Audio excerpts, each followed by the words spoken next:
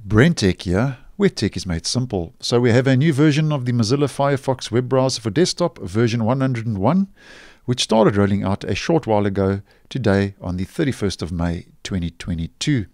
Now for a major release, version 101 is very thin on the ground, so to speak, when it comes to new features, and at the end of the day is mainly just a security update and upgrade to the browser, and we'll take a look at those all important security fixes near the end of this video. Now, there are three key changes worth mentioning.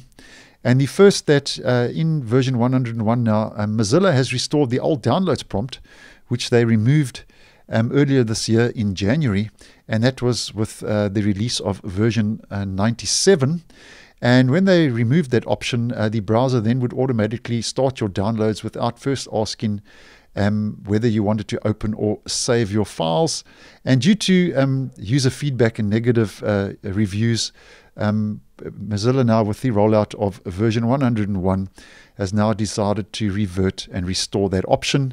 Which, if to get to, we just head to our settings, and we head to General, and we look for the Applications, Files and Applications Download section, and um, it says here, what should Firefox do with other files? The default is save files, and they've restored now ask whether to open or save files, um, which has now been restored in version 101, which will now give you a prompt with um, asking you what you want to do with your downloads and your files. And then the other two changes worth mentioning are um, uh, the first is to do with uh, video conferences. And in version 101 now, Mozilla has included support for multiple microphones um, um, during uh, video conferences and video meetings. And then the last key change to mention is that um, Firefox now supports the prefers contrast media query. And what that's all about is it basically now allows sites to detect if the user has requested web content with a higher or lower contrast. Now, if you'd like to see if you have the latest um, version, just head to your uh, menu in the top right, Help, About Firefox, and this will force the update and upgrade in the browser, which the latest version now is 101.0, and then we can just click on What's New, which will take us to the release notes for version 101.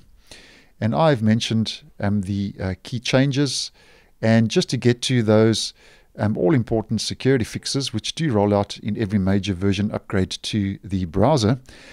Uh, in total, um, there are 13 vulnerabilities that have been addressed uh, with an in version 101. And out of the 13 security vulnerabilities that have been fixed, eight of those are high impact. So we've got eight high impact vulnerabilities, and we've got a couple of moderates and low, but most of those are high impact, which is your second highest ranked uh, vulnerability after critical.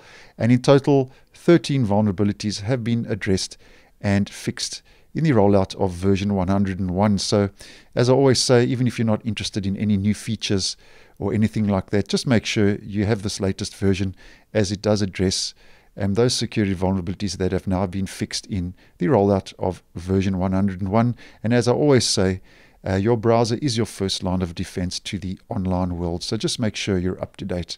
So that's it. Three key uh, changes, mainly that download prompt that has been now restored, and then 13 vulnerabilities that have been uh, addressed and fixed uh, in this latest release of the Firefox web browser for desktop version 101. So thanks for watching, and I will see you in the next one.